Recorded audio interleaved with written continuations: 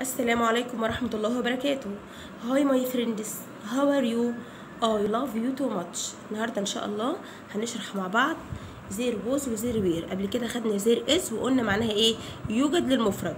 وخدنا there are وقلنا يوجد للجمع والاتنين يعبروا عن المضارع يعني في الوقت الحالي. النهاردة إن شاء الله هناخد الماضي ليهم. there was معناها كان يوجد للمفرد و there were كان يوجد للجمع. يعني حاجة أو مكان كان موجود في الماضي ولم يعد موجود الآن. خلاص يا حبايبي معنى there was و there were إن كان في حاجة في الماضي ودلوقتي مش موجودة. خلاص يا حبايبي عشان تبقوا عارفين المعنى بيقول إيه بالظبط. هنا بيقول لي there was معناها إيه؟ كان يوجد للمفرد. و there were كان يوجد للجمع.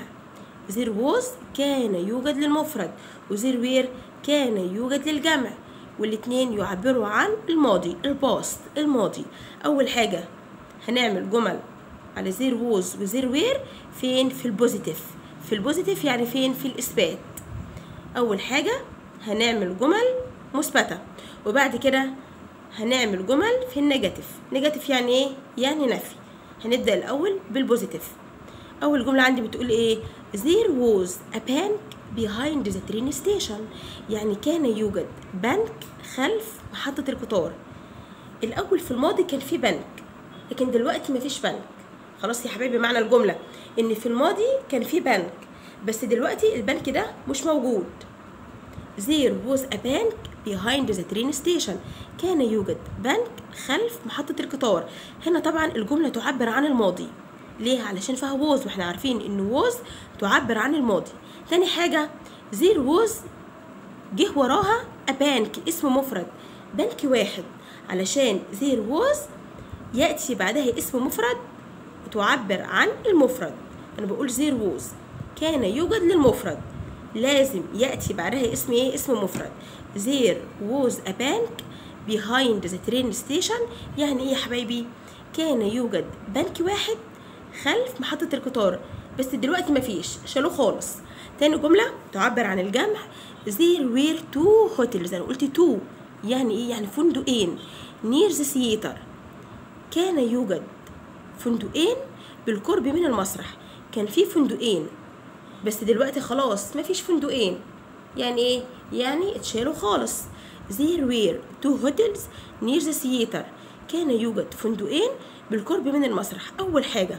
الجملة تعبر عن الماضي تاني حاجة تعبر عن الجمع علشان were تأتي مع الاسم الجمع there were two hotels فندقين مش فندق واحد لا اتنين.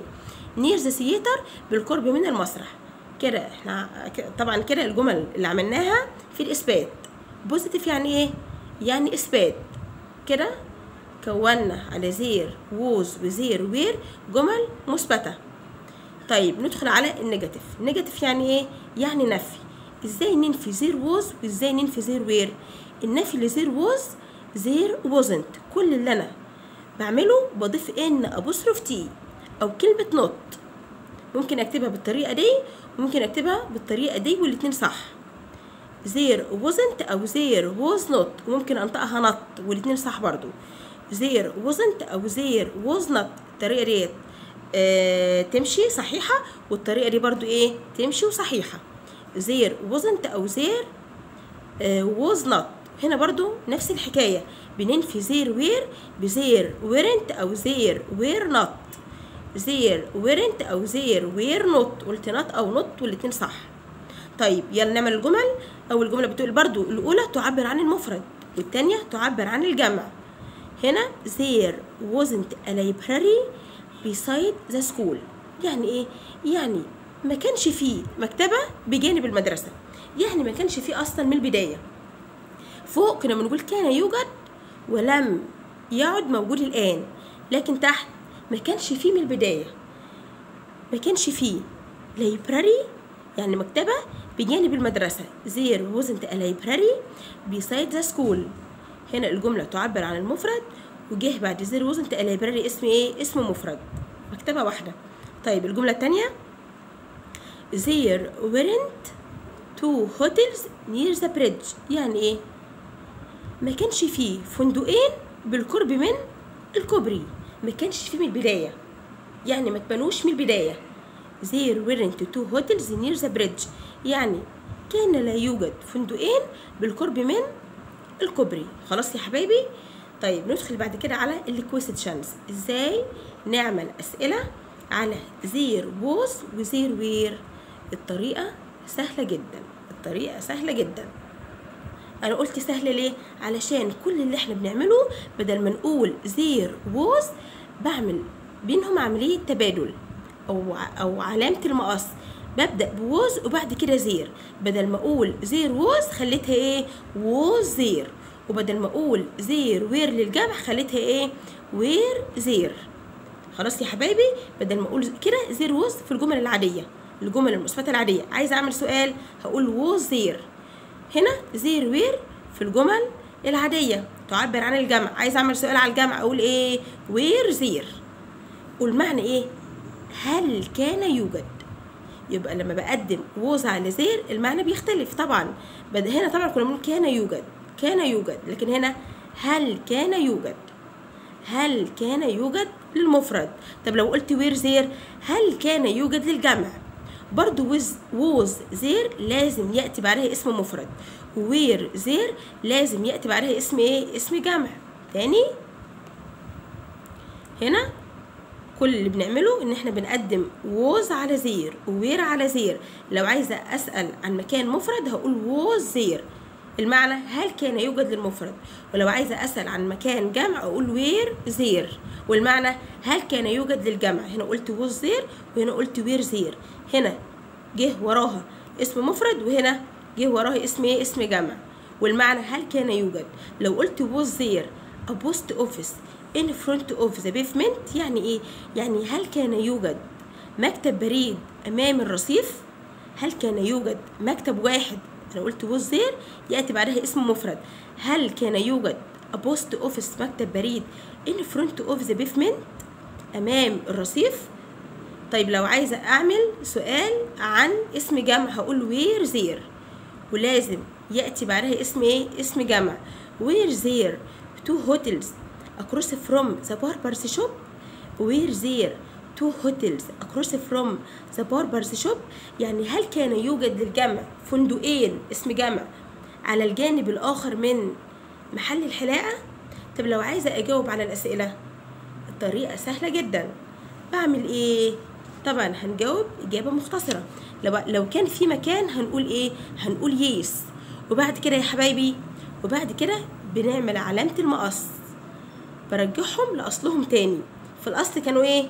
كانوا there was. هرجعهم برضو في الإجابة إلى إيه؟ إلى there was. خلاص هقول إيه؟ هقول yes there was. طب لو ما كانش فيه هقول إيه؟ هقول no there wasn't. no there wasn't. لازم في النفي لما جاوب ب no أضيف n apostrophe t ل was أو were. لكن في الإثبات ما بنضيفش حاجة ل were. في النفي بنضيف n apostrophe t للاثنين هنا قلت yes there was طب لو ما فيش لو ما كانش في مكتب بريد هقول no there wasn't طيب هنا لو عايزة أجاوب على السؤال الثاني were there two hotels across from the barber's shop. هل كان يوجد فندقين على الجانب الآخر من محل الحلاق لو كان في هنقول yes وبعد كده نعمل علامة المقص نجيب there الأول وبعد كده were وراها. طب لو مفيش هنقول no there weren't no يعني لا. وبعدين there were وأضيف إيه؟ n apostrophe t في النفي. خلاص يا حبايبي. بعد كده بيقول لي إيه؟ زي ما أنا قلت لكم في البداية بيقول لي لاحظ بالجمل السابقة عندما نقول there was و there were يعني أنه كان موجود أو كان يوجد وغير موجود الآن.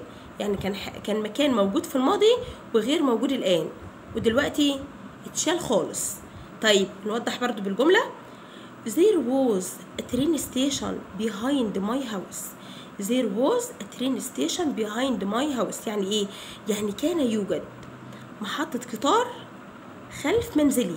كان في في الماضي محطة قطار ورا منزلي بس دلوقتي مفيش محطة قطار شالوها خالص. دي معنى الإيه؟ معنى الجملة. There was و there were كان يوجد في الماضي ولم يعد موجود الآن. وبكده يا حبايبي نكون انتهينا من شرح الجرامر. ويا ريت لو عجبكم الفيديو ما تنسوش تضغطوا على علامة لايك وتشتركوا في القناة وتفعلوا زر الجرس علشان يوصلكم إشعار بأي درس جديد أنا بنزله. وأسيبكم في رعاية الله والسلام عليكم ورحمة الله وبركاته.